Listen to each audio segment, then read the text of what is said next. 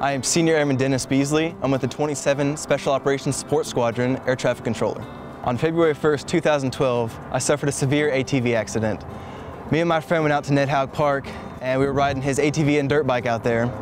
And all of a sudden I found this big hill and I wanted to take it on, being the daredevil that I think I am. I took the hill the first time and I landed it just fine. I told him, hey, let's get this on video so I can show all my friends. And in that moment in the air, all I could think was, I'm coming down on my head. I blacked out and all I remember is waking up with severe back pain, couldn't believe what had just happened. And after a full night of CAT scans, x-rays, the final diagnosis was that I only had three cracked vertebrae.